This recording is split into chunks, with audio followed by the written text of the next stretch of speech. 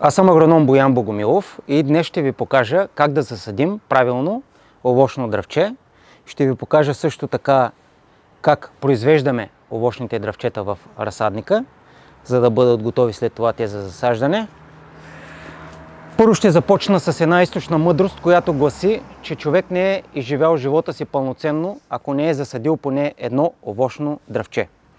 При агроекологичните условия на България засаждането е най-добре да стане през есента, като това трябва да стане не по-късно от средата на месец октомври и трябва да приключи 15 дни преди идването на големите студове.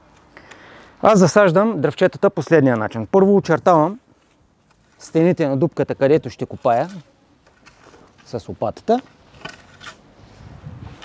След това започваме да копаеме. Когато забиеме правата лопата, тя влиза на дълбочина около 30 см. Това е почвата, която е богата на хранителни вещества и почвата, която е добре оструктурирана. Затова почвата, която изваряме отгоре в очертанието, ще я заделим на една страна отляво, за да може след това с нея да заровиме коренчетата на овощното дръвче.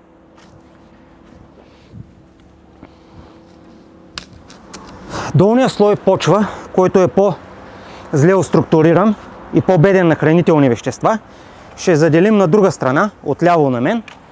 И след това с него ще го, ще го използваме, за да може да запълним дупката.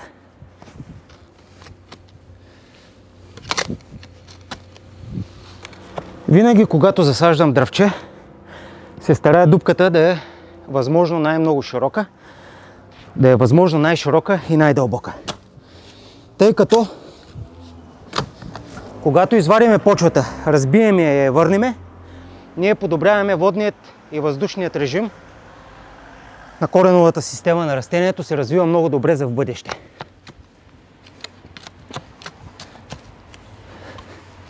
Смятам, че дълбочината е подходяща, затова ще направя проверка, като взема дръвчето, което съм подготвил за засаждане и го сложа в дупката, за да видя дали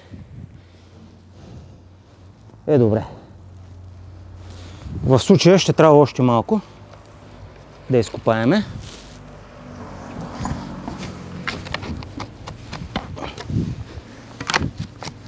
Когато сме готови,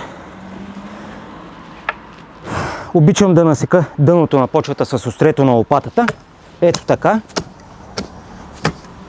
Тъй като на голяма дълбочина, дълбочината, която сме влезли, около 45 см, почвата е много сбита и много твърда. Когато насечем почвата,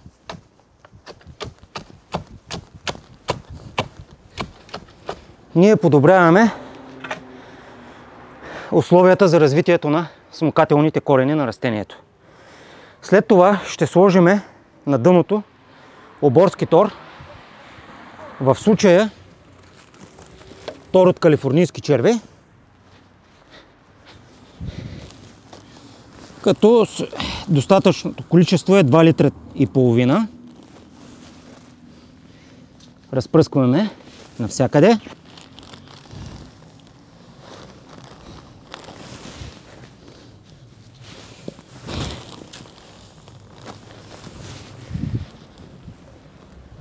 А останалата тор ще сложиме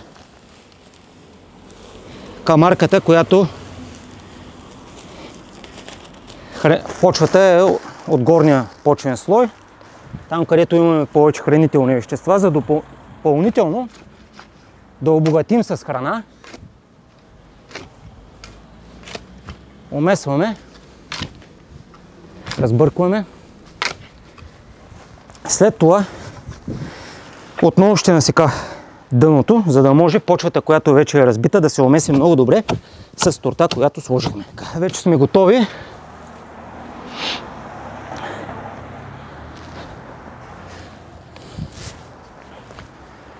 Сега ще сложим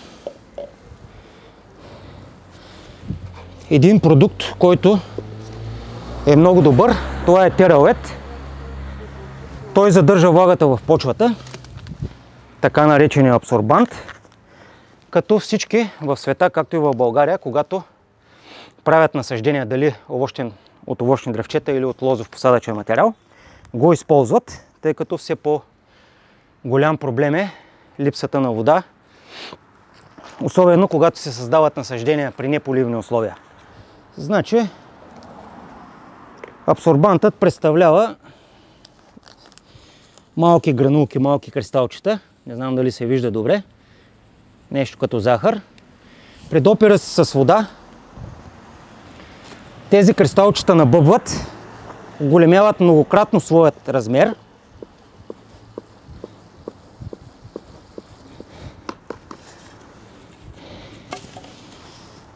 Разпръскваме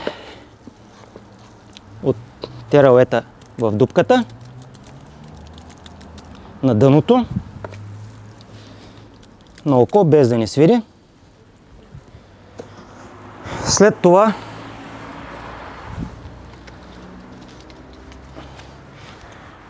подготвяме овощното дръвче за засаждане. Нашата задача е да отрежеме връхчетата на корените и ако има наранени коренчета при, от изваждането на дръвчето в разсадника, да ги опресним до здраво.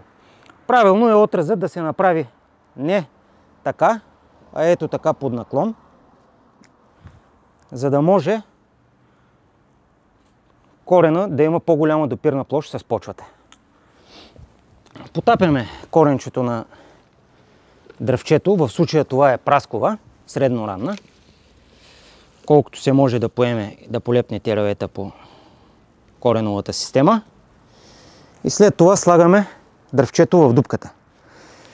Това, което трябва да съобразим е посоката на коляното, или това е мястото на облагородяването, то трябва да е в зависимост от силата на преобладаващият вятър за даденият район.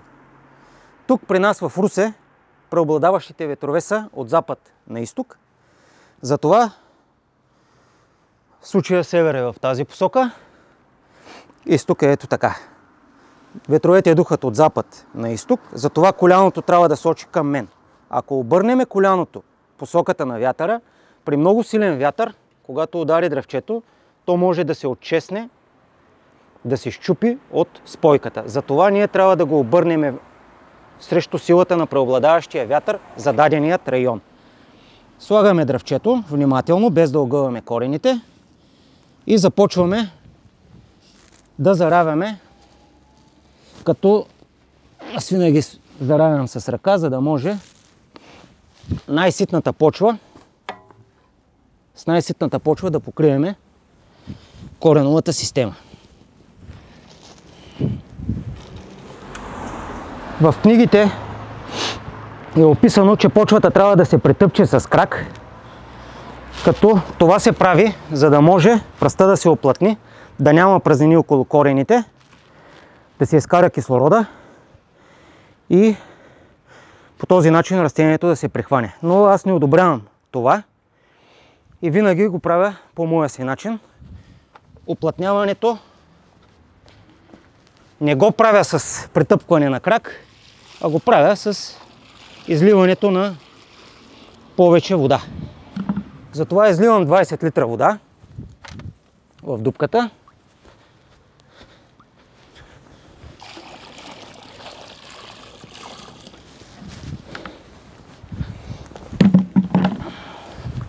След което трябва да изчакаме водата да попие. Тя ще свърши ролята на оплътнител, като изкара, кислорода и оплътни почвата около коренчетата. Докато изчакаме водата да попие, съм ви донесъл нагледно да ви покажа как произвеждаме в разсадника овощните дръвчета. Значи това е подложка, в случая дюлева, засадена и отгледана една година. Когато дойде момента за пресаждане, т.е. когато имаме силно сокодвижение, това става август месец, ние вземаме калемче, това е клонче от сорт круша, хардиева масловка. Веднага след отрязването от дървото примахваме листата. Ето така. тъй като листата дърпат от соковете и не трябва да изтощят калемчето. То се слага във водичка, престоява 48 часа и когато е готово, от него вземаме спящата пъпка. Вземането става последният начин. С нощчето отрязваме.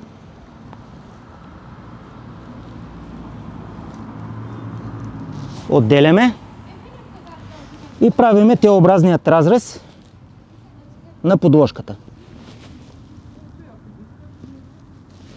Отделяме кората.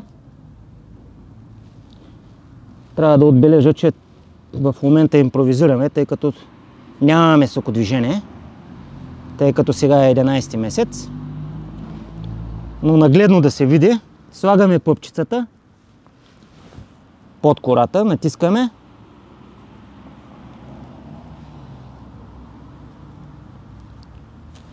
и след това с полиетиленова лентичка превързваме, за да пристегнем сърцевината на пъпчетата да се докосне до дръвчето, да няма изпарения същевременно и пъпчетата да се хване. Ето така става присаждането. Като следващата година, това се прави август месец, отрязваме подложката в определен период, обикновено края на март месец, над пъпчицата. Ето така. Хранителните вещества, които подава корена, идват в пъпчицата. Естествено лентичката е махната. Пъпчицата започва да израства и до края на есента получаваме ето това дръвче. Когато почвата попие, продължаваме да зараваме.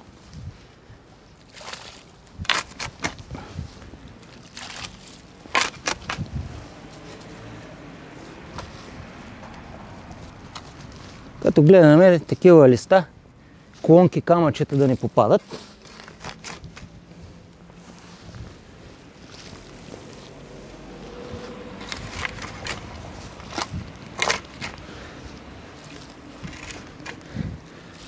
И дозариваме с тази почва, която беше отдолу на дупката. Когато сме готови, може да напълним този венец с вода, допълнително да се оплътни почвата.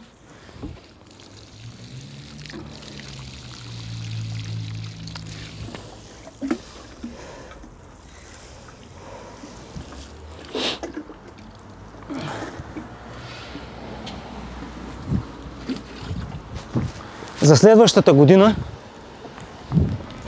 нашата задача е да оформиме короната на овощното дръвче. Това се прави последният начин, в случая на прасковата.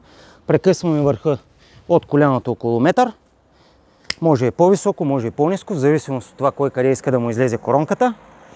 Всяко едно клонче се съкръщава на две пъпки. Една пъпка, две пъпки, 2 см. Това е много ниско, затова го премахваме.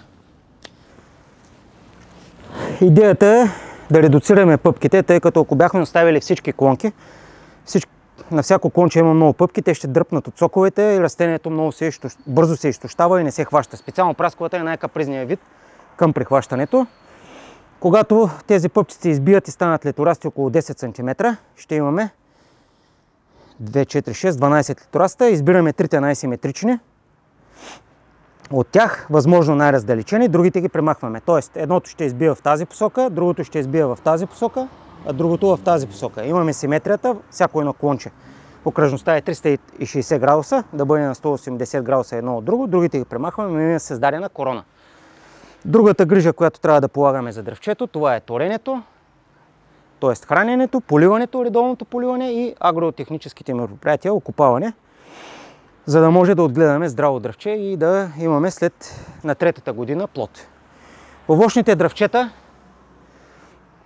са отглеждат, като идеята е да получим продукция при любителите, малки количества, при професионалистите, големи добиви, за да могат да се реализират на пазара.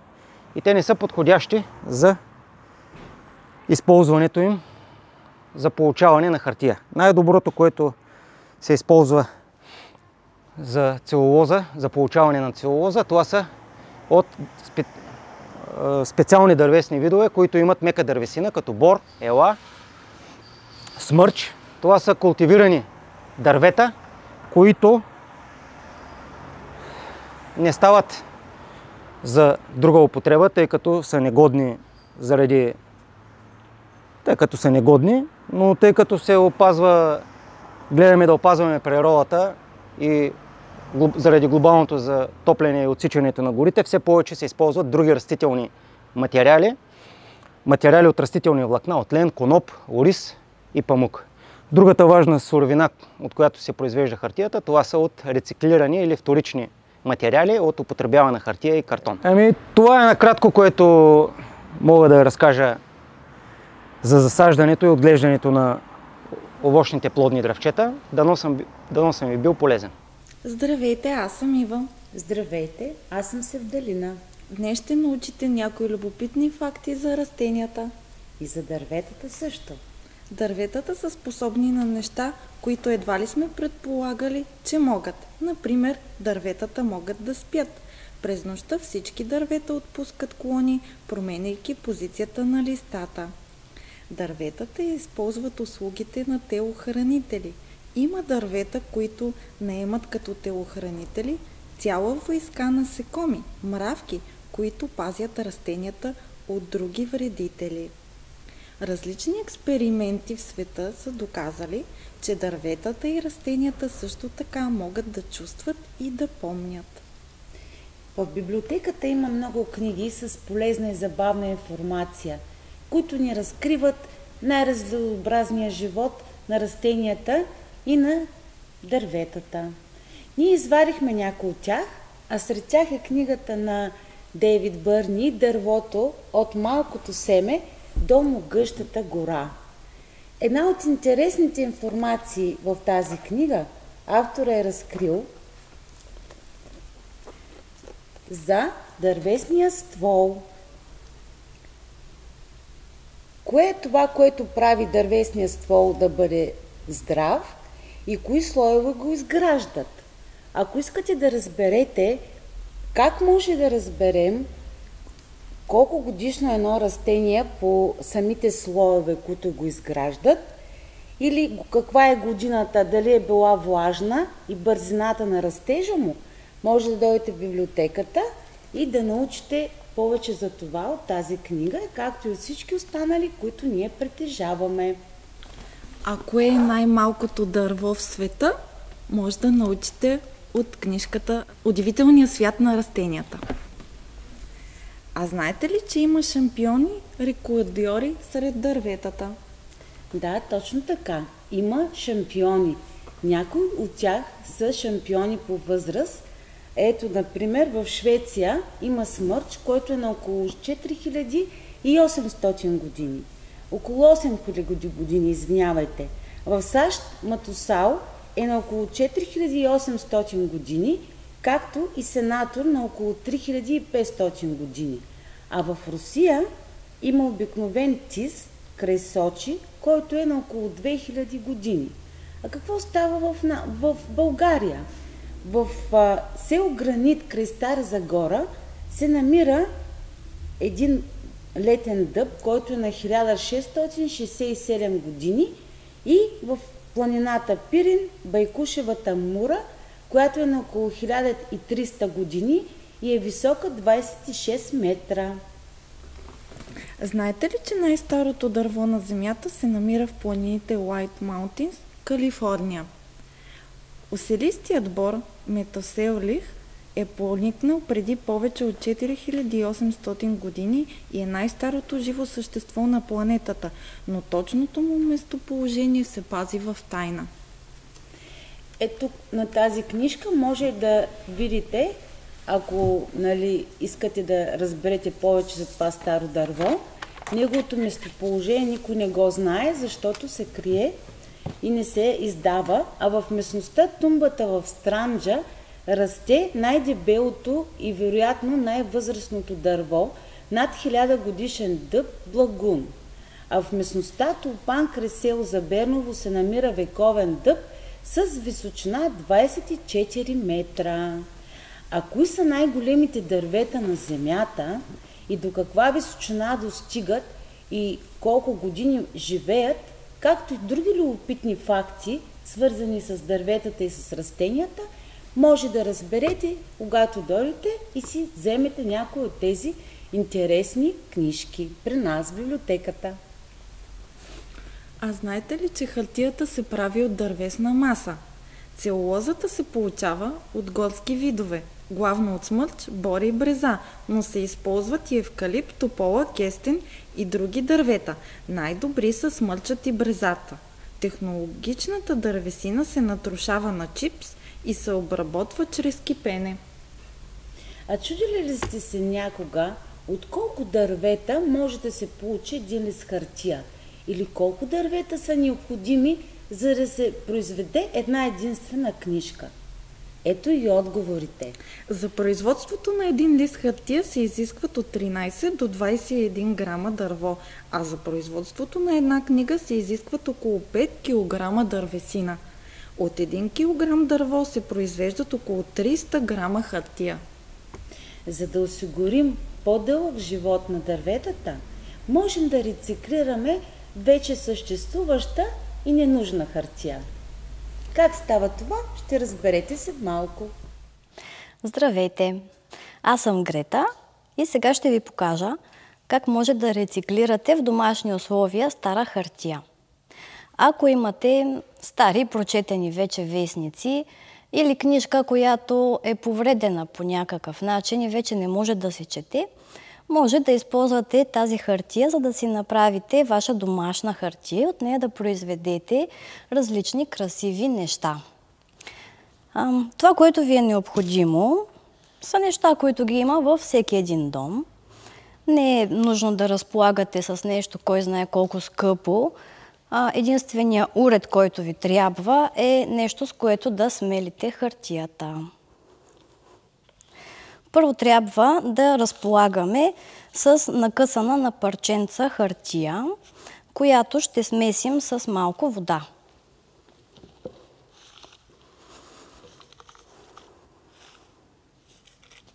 В случай, че хартията е по-твърда, можем предварително да я накиснем с малко вода или да я залеем с гореща вода, която ще я направи малко по-мека.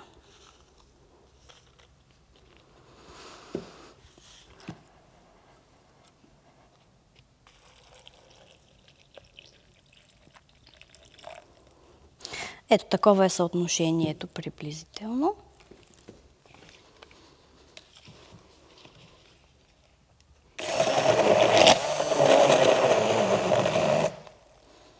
Колкото повече смиламе, толкова повече нашата хартиена каша става по-финна и съответно и лищетата ще станат по-гладки, по-финни.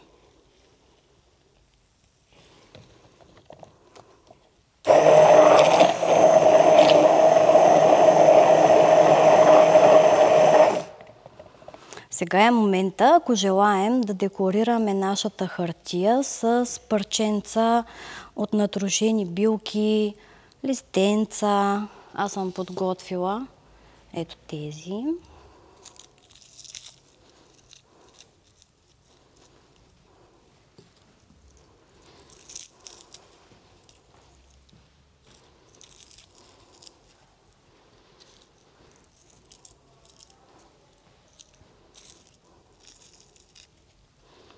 И така ще си имаме хартия с билки.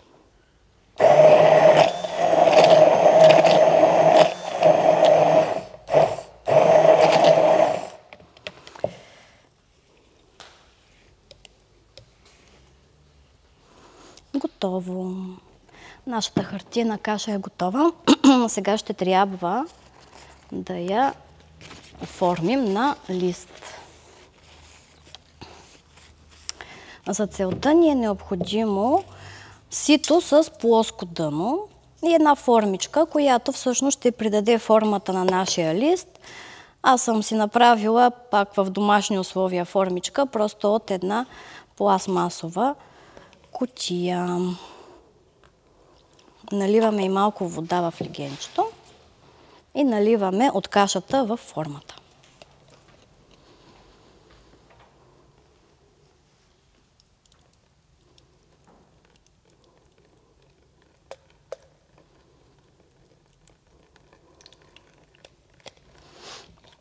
Можем да си помогнем с тази лъжичка да разлеем хубаво кашата по ръбовете на формата, за да се получи равномерно и гладко. Да няма дубки на някои места.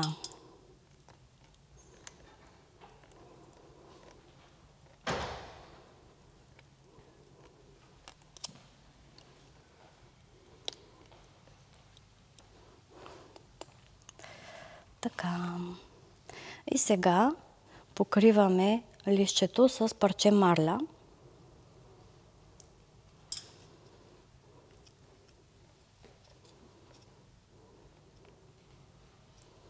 Ето така. И с помощта на една гъбичка трябва да отнемем възможно най-много от водата. Тук е момента, ако желаем да вградим цяло цвете или примерно парче дантела или по-голямо листо с по-изпъкнали жилки, които ще придадат релеф на самата хартия, на самия лист, сега е момента да го сложим отгоре и така да изсъхне вградено вътре. Така, попихме и сега трябва да отделим лището от ситото.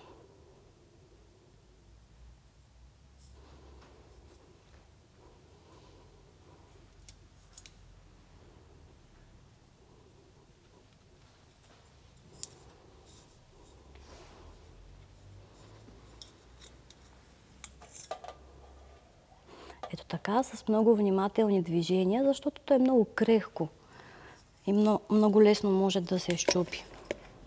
Така оставяме нашето лище да изсъхне. За няколко дни ще е готово, след което вече може да го декорираме и да изработим от него нещо красиво, например поздравителна картичка, книгоразделител или каквото друго измисли нашата фантазия. Може да го декорираме според нашите вкусове и предпочитания. Също така може да направим и отпечатък върху тази хартия. В библиотеката имаме много книги, в които може да прочетете и как се прави хартия от дома и други много интересни експерименти. Заповядайте и разгледайте. Здравейте, аз съм Ренета Константинова и се намираме в часовниковата кула на регионална библиотека Любен Каравелов Русе, където ще ви покажем как от хартията може да се направи нещо изящно и красиво. Екслибрисът е малък графичен етикет или отпечатък, който се поставя от вътрешната страна на корицата, за да обозначи е, притежателя на съответната книга. Латинският израз екслибрис всъщност означава из книгите на и след това се изписва името на човека, чиято библиотека, за чиято библиотека са предназначени екслибрисите или а, името на институцията, която е поръчала съответният екслибрис. Първите е, печатни екслибриси са направени още през 1470 година, след изобретяването на печатната преса на Гутенберг, когато и книгопечатането се е развило много. Днес екслибрисите са повече не като знак за притежание на дадена книга към съответната библиотека, по-скоро като размен на монета между колекционери и са вид малка графика, изящно изкуство. Как се изработва екслибриса? Използват се различни а, графични техники на дълбок и висок печат. Това са линогравюра, дърворезба, суха егла, офорт, акватинта и други подобни.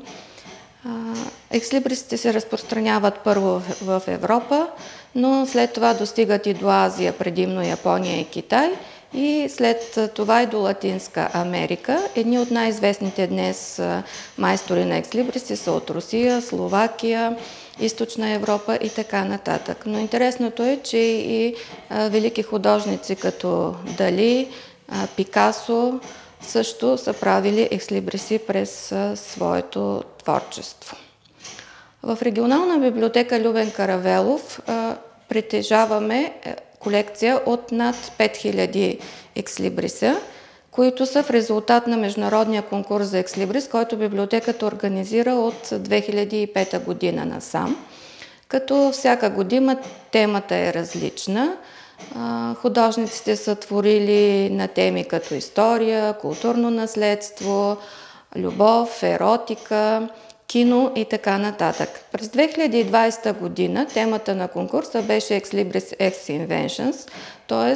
предизвикахме творците да а, осмислят човешкия стремеж към технологични а, достижения и изобретения. В тази годишната надпревара участваха, въпреки пандемията и ограничената мобилност, 207 автори от цял свят, като те изпратиха общо 318 творби, които са подредени в изложба.